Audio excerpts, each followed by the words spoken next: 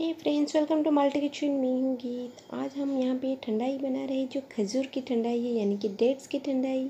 हम तरह तरह की ठंडाई बनाते हैं और डेट्स की जो टेस्ट होता है, बहुत ही अच्छा होता है। आज मैं थोड़ा डिफरेंट बना रही हूँ, यानी कि डेट्स की जो ड्रिंक्स होता है, बहुत ही हेल्दी होता है। तो मैं दूध के अंदर डेट्स, यानी कि खजूर डाल के सारे ड्राई फ्रूट्स डाल के बना रही हूँ। ये एक तरह की बहुत ही हेल्दी ड्रिंक्स है।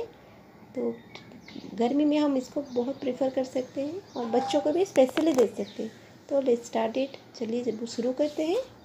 तो इसके लिए मैंने कुछ सामान ली है। तो यहाँ पे मैंने भिगो हुए आलमंड है, यानी कि हमारे जो बादाम होते हैं, इसको चार पाँच घंटे के लिए मैंने भिगो दिए थे। तो ये भिगो हुए छः सात आलमंड है और यहाँ पे थोड़े खजूर, यानी कि हमारे डेढ़ से एक इलायची मैंने ली है और थोड़ा मैं हमने पिस्ता ली है।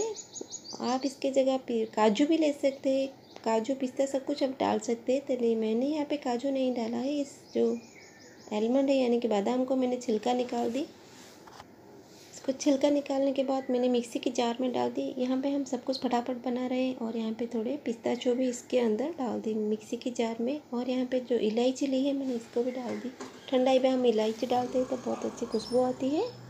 और जो हमने खजूर लिए डेट्स लिए इस इसके अंदर से मैंने बीज निकाल दिए और इसको छोटे छोटे टुकड़े करके डाल रही हूँ।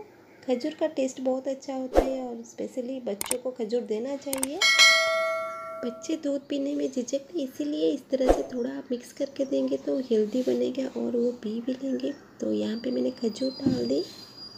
तो घर पे मेहमान आए फटाफट इस तरह से ड्रिंक्स बना के उनको दे सकते हैं। सब कुछ डाल दी। यहाँ पे मैं थोड़े जो रोज़ पेटल है, सूखे हुए ड्राई रोज़ पेटल है जो गुलाब की पंखुड़ी है, सूखे हुए रखे थे तो थोड़ा मैंने डाल दी। आपको अगर नहीं चाहिए तो आप स्किप कर सकते हैं, लेकिन इसमें से जो अच्छी वाली एरोमा निकलती है, और यहाँ पे मैं एक कप दूध ले रही हूँ, उबले हुए दूध ले रही हूँ। अगर आप इसके अंदर मलाई है तो आप मलाई भी डाल सकते हैं तो मलाई डालने से बहुत अच्छा लगता है। यहाँ पे मैंने चीनी डाल दी, यानी कि शुगर डाल दी। मीठा आप अपने हिसाब से कम ज़्यादा भी ले सकते हैं। अगर कम प्रेफर करते हैं तो कम चीनी डालिए।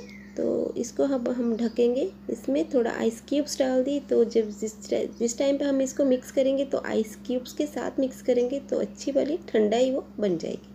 बन चुका है हमारा फटाफट बन ड्रिंक्स यानी कि ठंडाई ड्रिंक्स समर में इस तरह की ठंडाई पीने का बहुत बढ़िया होता है, बहुत अच्छा लगता है इस तरह के ड्रिंक्स पीने में।